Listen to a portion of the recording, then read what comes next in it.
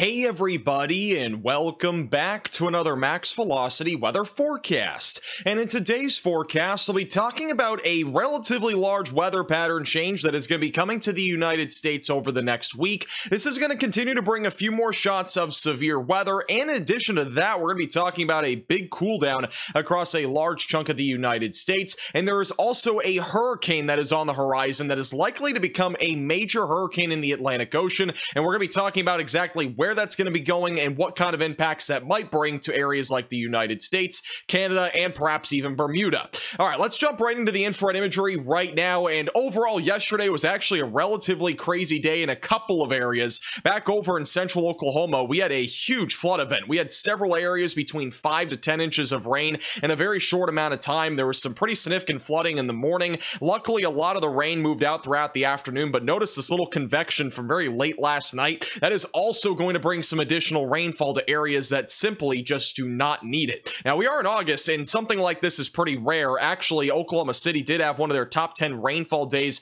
of all time yesterday, and it was really just crazy. Again, several inches of rain fell, anywhere from 5 to even upwards of 11 inches of rain fell in parts of central Oklahoma. The east coast of the United States does remain relatively quiet compared to before when we had Debby. There's a little low spinning just to the north of New England, but overall not really bringing much aside from cloud cover. And also, I want to point out, look at this. We don't have a whole lot of cloud cover in the northern tier of the United States. And one thing I do want to point out is that there were northern lights visible last night, even as far south as areas like Texas. People with high exposure cameras were able to capture some really incredible northern light photos. Now, this is an example of some of the northern lights that we saw last night. This is from Hunter Hurley over on Twitter over near Kansas City, Missouri. And just notice again, just unbelievable stuff that we're seeing even that far down to the south in Kansas City. Many places like Minnesota, Kentucky, again, even Texas, and even Arizona were reporting at least some northern light activity with high exposure cameras. It wasn't always visible to the naked eye unless you were back up in really far northern plains like, you know, Minnesota or Michigan, for example, but definitely really crazy stuff. Now, the northern lights were not really expected last night, and so was the rain. The rain was not really expected to be this crazy across Oklahoma.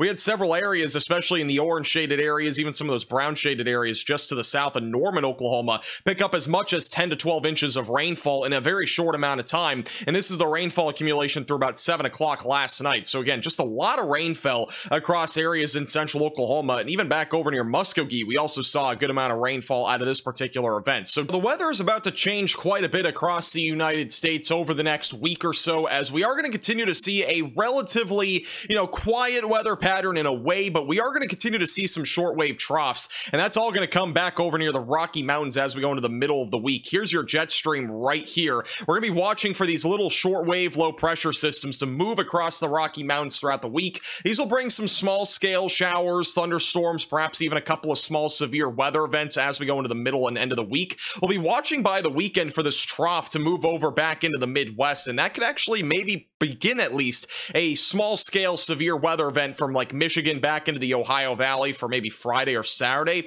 And then once we go into Saturday into Sunday, that trough is going to continue to move to the east very slowly. That's actually going to basically repel almost this low pressure system that's going to be Ernesto and kind of move it away from the United States. So that's actually good news that this even exists. If it didn't, we could be talking about a completely different scenario with Ernesto. What's going to happen as we go into the end of the weekend and eventually into early next week is that we are likely going to see a omega block pattern return, which if you remember, these usually do bring more of a heat wave and also usually a drier weather pattern, especially to the southern tier of the United States. And that will definitely be something that we're going to have to watch for as we go into next week, as we are currently in the peak of summer, which is going to be, you know, the hottest time of the year basically for most of the country.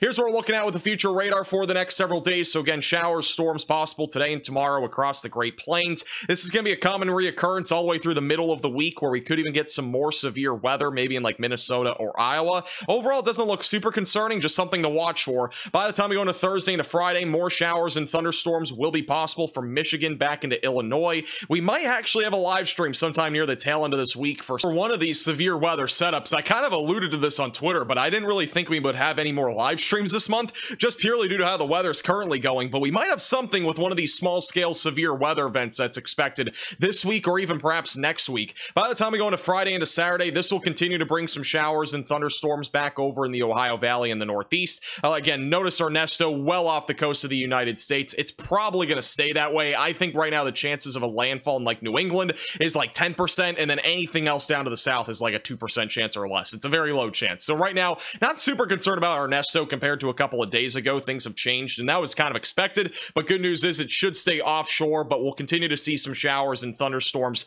up and down the East Coast. Meanwhile, things will dry out across the Great Plains as we go into Sunday. Now, the temperatures over the next few days, you're going to feel a difference depending on where you are. Down in the southern plains, it's going to be brutally hot. The Midwest and the northern plains, nicer for this time of the year for today. By tomorrow and even back into Wednesday, the temperatures will start to be on the rise again back over in the Midwest and the central plains, but that will not last super long. We'll have some showers, storms, and a cold front that should drop some temperatures as we go into Thursday into Friday. And then back by Saturday as well as into Sunday, things are going to start to cool down back over in both the Northeast and as well as the Ohio Valley, where high temperatures for the most part will be in the 60s, 70s, and even some low 80s. Now, the tropics are beginning to heat up. We do have potential tropical cyclone 5 that has developed just to the east of the Lesser Antilles. This is expected to be our next hurricane. It would be Ernesto. And then eventually, as this moves to the west, it'll start to actually turn to the north, which we're going to show you here in a second. There's a wide variety of scenarios that could happen with this potential tropical cyclone. One of which is that this tries to go a bit more up the east coast of the United States. The more likely scenario is that this goes towards Bermuda, and then a much less likely scenario is that this somehow goes really far to the east, avoiding all land, even including Bermuda. So a lot of scenarios that could evolve, and I'm going to kind of show you which one I think is going to happen here in just a moment. Now, the National Hurricane Center has released their forecast for potential tropical cyclone 5, and overall, right now, it again, it's just a potential tropical cyclone, nothing crazy, but as we go into this evening, it is expected to become our next tropical storm and our next name storm, which will be Ernesto. Once we go into Tuesday into Wednesday, this will be impacting areas in the Lesser Antilles, including Puerto Rico, as a stronger tropical storm, and then by Wednesday evening, this is likely going to be a hurricane just to the east northeast of the Dominican Republic. The good news is, is as, as this intensifies, it is not going to be really impacting these areas after Wednesday, because this is expected to get very close to being a major hurricane by Friday evening. Now, from there, where does this go? Well, right now, the National Hurricane Center does think that this will be going in the direction of Bermuda. There is still a potential this does go a bit further west. There's still a chance it goes further east. Obviously, we are hoping that this just curves out to sea, but on, honestly, I don't think it's going to do that. I think this is at least at the bare minimum going to impact Bermuda. Areas along the east coast still have to be on alert for this. Even though it's a low chance of impacting those areas, it's definitely still possible.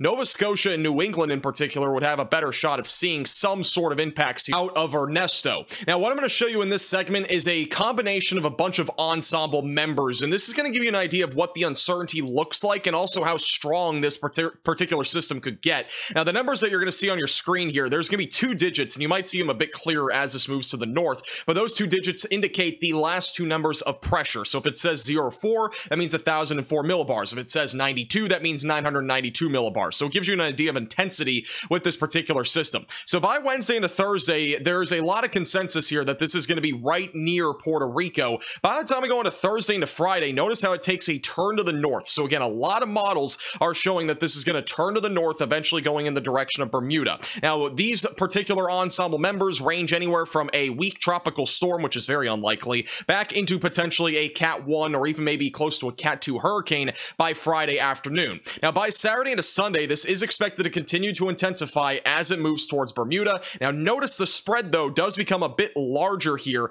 back out in the Atlantic Ocean. There's a couple of models that bring this closer to Florida, but the general gist is that most of them are still keeping this well out to sea and away from areas like Florida or even the East Coast. Now, after Sunday into Monday, things become pretty uncertain. The system is expected to move pretty quickly as we go into early next week since the jet stream is going to catch this, and also the Bermuda High should be able to pull this really away from the United States. But in the unlikely scenario that it doesn't, there is still a chance that this could impact areas like New England or Nova Scotia. I don't see there being major impacts along the coast, uh, you know, along the East Coast, aside from just higher wave heights and maybe some swells, but that would really be about it. New England and Nova Scotia, though, still have to be on alert because if this system does, for whatever reason, not go as far to the east as we think it will, it could still bring some impacts to Nova Scotia and New England. This really does remind me, though, of Hurricane Lee from last year, where that became a really intense hurricane and really just kind of went up to the north and east, and it eventually impacted Nova Scotia mostly and New England, but it wasn't really anything too crazy aside from rainfall. So I think that's going to be a similar scenario here with Ernesto. Just a heads up, if you are a member of the channel, don't forget we have a new bloopers video out on the members only tab. If you want to go check that out, highly recommend it. It is the funniest bloopers that we've had so far